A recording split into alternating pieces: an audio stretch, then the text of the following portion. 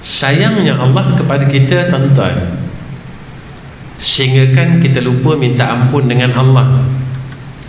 Allah memberikan kita keampunan secara yang kita sendiri tak sedar. Macam mana keampunan itu? Satu kata Nabi dengan jalan sakit. Allah bagi kita sakit.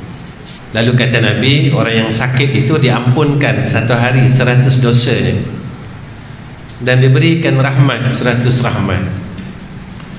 Kenapa Allah bagi kita sakit tuan-tuan? Sebab kita lupa minta ampun dengan Allah. Ustaz saya dah istighfar tiga kali lepas mayang lima kali lima belas kali. Tuan-tuan dosa kita 15 kali atau 15 juta